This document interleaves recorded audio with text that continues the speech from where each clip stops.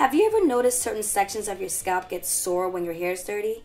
Buildup on your scalp can quickly turn into something more serious. All types of dirt particles and bacteria sticks and mix in with the oily buildup. Some of this mess can get absorbed into your follicles and clog them. A sore scalp is the first indication that something's wrong, and if you ignore it and keep your scalp dirty, you can stunt your hair growth or even get an infection. So for those of you that get a sore scalp when your hair is dirty, consider yourself lucky. It's like nature letting you know that you should have washed your hair yesterday.